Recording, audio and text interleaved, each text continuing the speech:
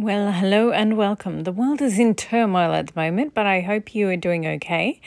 Today's exciting episode is me finally finishing this gorgeous vintage style dress, which ended up being a lot longer than I thought it would, but it's adorable. I love it. It's perfect. Perfect, perfect,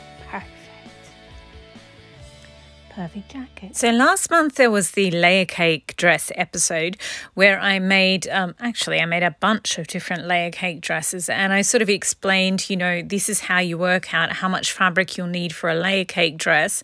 And then I sort of showed you how you can sort of figure out which tier, you know, which bit of fabric is in which tier and therefore how much fabric you need to buy in order to make something you know, of the same dimensions.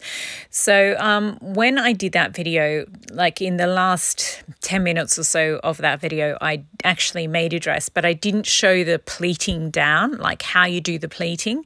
And I got a few requests to show you know, the whole of the step by step process of how you pleat down between the tiers. So today I am going to use this gorgeous fabric and I am going to make a pleated vintage dress. I can show you step by step how to do pleats. Um, I got three yards. One cut is three yards and one cut is two yards. Just they were remnants. So I was originally going to make a shirt out of what, the shorter bit, and then a nice um, simple vintage dress out of the second, um, the three yard cut. But I have decided because it's actually really quite thin fabric. Well, not thin, but it's um, it pleats down really, really easily. So I've decided that I'm going to use the whole of the five yards in one vintage dress. So it's basically I want it to look like this. But this one is about four yards of fabric for a small size, and the fabric I have is five yards. So if you're a medium size, like a 14 or a 16, add half a yard or a yard. And if you're a larger size, like 18, 20 or above, um, add an extra yard maybe just to be on the safe side. So I again, I've got the two yards uh, cut and the three yard cut. And here I'm just showing you the drape of the fabric. It's not a crisp cotton. It's just, I don't know, there's something so vintage about this. And it's got that seersucker look, that sort of slightly crinkled look in the check in the way it's woven. I love it. Anyway, so I used the two yard cut and I just used the top end of it, like half a yard, to cut out the front and the back of the bodice. And I also cut out plain white um, cotton front and back. And that's going to be my lining bodice, which helps carry the weight of the skirt. And you can just see them underneath the bodice there. And then with the rest, I just sort of straightened up the ends. So uh, here we go. I just sort of you just have to make sure that the um, your cuts are straight because when they cut it at the fabric store, sometimes it's not cut at a right angle. So you just have to cut off a few bits of fabric to make sure they're perfectly straight. And then with the big section, I cut that into eight parts. And with the remains of the two yard bits, so like the one and a half yards that I had left, I cut that into four sections. So that's going to be my top tier of the skirt is going to be four selvage to selvage lengths across and the bottom half of my skirt is going to be eight lengths of fabric long. So the second half, the bottom half of the skirt is going to be twice the width of the top. So effectively, instead of having the three tiers like this one, I'm just going to have two tiers, but they're slightly wider each tier. And um, yeah, so I'm going to basically have the second and third tier, not the first smaller tier. And it's just because there was a cut in the middle of the fabric, I kind of had to do it this way just so that I got the best of the fabric. But obviously, if you have a whole single cut, then you can do whatever you want. But I just felt like after I was folding it and trying to divide it into something, I just felt like this would look better. So yeah, I'm happy with this. So now what I have to do is I'll won't do the bodice at the moment. I think I'll start with the skirt first. So what I will do is sew these four sections together to form the a loop that I can make the first tier out of. And then I'll sew these eight sections together to make a massive loop of fabric.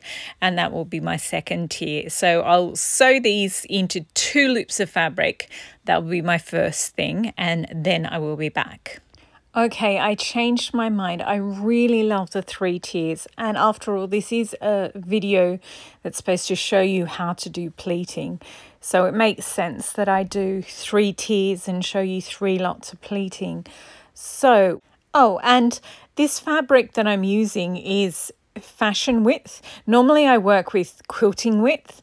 So yeah, selvage to selvage, this is 60 inches. So if I cut off a third of it, um, and just use this section here for my first tier, it's still quilting width, like 45 inches wide or 112 centimeters wide. So what I'll do is this third over here, I'll just pop it back. So the second tier is now three and a third um, lengths wide, and the first tier um, is two quilting cotton widths wide, so it's 90 inches wide, which is plenty, absolutely plenty.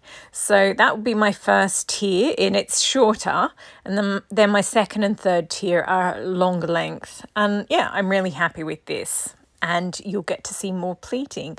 So now I'll do the loops. The two lengths of fabric for the first tier, I'll make a loop. The three and a third bits uh, for the second tier, I'll make into a loop. And the eight sections for the last tier, I'll make into a massive loop. And then I will be back.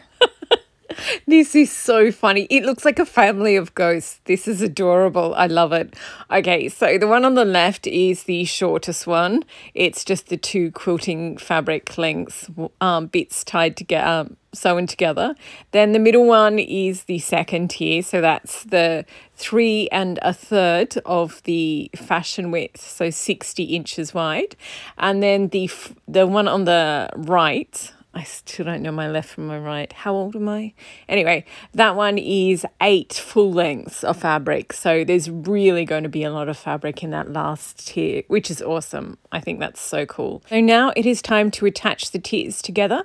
So we'll pin them and then we'll um, pleat them down and then we'll machine sew them. So I'll take the first tier and the second tier and we'll start with the smallest ones. I did try to film pleating on the skirt, the actual skirt. But this fabric is not right. It's too thin, so you can't tell which is the outside and which is the inside. So I'm using different fabrics. This is the top tier, the blue one, and we'll pretend this um, holly fabric is the second tier of the skirt. So what you do is um, and it's got a different back so you'll be able to see what I'm doing. So we'll pretend the blue one is the top and we put a pin on the left side, the right side, the middle front and the center back. So you've got four pins on there. And then with the second tier you do the same thing. Left side, right side, center front, center back. And then you find the center points so um, you started with four pins, then you turn it to eight, then you join them together, all eight pins. And obviously, the holly layer, the second tier, is twice as big as the first tier, the blue one. So when you pin them together at those eight points, then 16 points, then 32 points, um, there's a big gap because the second tier is twice as big. So, what we have to do is just keep pinning them down until those loopy gap bits are small enough to make one one pleat. So if they're still too big, then halve it again and go around and halve each one. So now they're at the point where if we fold this to the left, then fold it back over itself, it's going to make a nice pleat. So they're the right size. Um, you can measure it if you want, but I think it looks better when it's done by hand. So you push with each pleat, you push the excess fabric so that they're smooth and you push the excess fabric to the left, then you fold it back onto itself um, and you pin it. So, yeah, you can see this one isn't done yet. So I've put smoothed all the fabric to the left.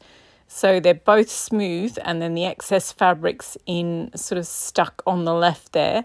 Then you fold it back on itself and pin it into place. Then you go around the whole thing and you do that. And once it's done, then you machine sew. And I just take one pin out at a time as I machine sew. So it's a little bit slow. And then once you've machine sewed the whole way round, I reinforce it so I machine sew it again. Then you do the same thing to attach the second tier to the third tier. And we have ourselves a skirt. So now it's time to show you the making of bodice, which I actually did a long time ago. Okay, it is finally time to do the bodice. So we have the front, the back of the outer fabric and white for the lining. This is a sleeveless bodice, so I have to use the burrito method so that I can machine sew the armholes without having to do a whole bunch of hand sewing. So I pinned the shoulder straps together for the lining and for the outer and then I machine sewed them, then splay open, lay open the um, outer bodice and put the lining bodice right sides together over the top. So we're doing the neckline now. So pin them together at the shoulder strap so that they're perfectly squared and then match the centers and then pin the rest of the way around. And then it is time to machine sew them together just right around the neckline and obviously you have to be really careful and neat with this one it's curved so it is a little tricky but once you machine sew, then you clip the curve right around the neckline, then you turn it out so that it's around the correct way. And now it is time to do the sleeves or the armholes. So we'll do the right side first. So you sort of splay it open. So you sort of tuck under the hole of the right side of the lining so that you've got a big flat surface for the right side to do. Then with the left side, you roll that up and keep rolling it until it sits directly between the right side outer and right side lining. So it's able to sort of fit in the strap that you're just about to sew. So then you pin the right side outer and the right side lining together. You can see here, I make sure the shoulder seams are perfectly matched on the lining and the outer first. Then I do one side and then I do the other side and sort of pin them all. But it's the center seam, the that shoulder seam that has to be perfect so that the whole thing can sit nicely. Then you machine sew that and now I have to sort of just trim down this seam allowance so that when you turn it out, it will sit properly. And then you also have to clip the curve because this is the the fabric that goes right around the arm hole. So it's going to be round. So just clip the curve really carefully, obviously. And then it is time to turn this out. So you sort of pull up, see here is all the rolled up fabric. So you're going to have to pull basically the whole of the outer bodice back through to the front in just through this tiny little shoulder strap. So just gently and slowly we'll get it done. And here we go. So this at the right side is now done. It's a full strap.